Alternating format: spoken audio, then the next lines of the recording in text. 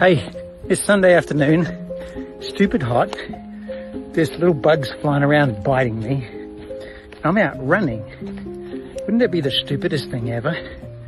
Or is this the perfect time to just recenter, pause, look around, and just remember God made the world and said it is good.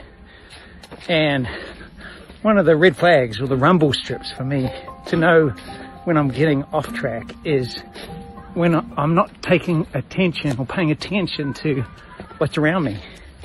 If I can't get outside and say it is good, this is so good. It centers my soul, my spirit, anchors my day, my week. So my challenge and encouragement to you is find that place that forces you to get back centered, that you can say again, it is good. It is well with my soul. Have a great week.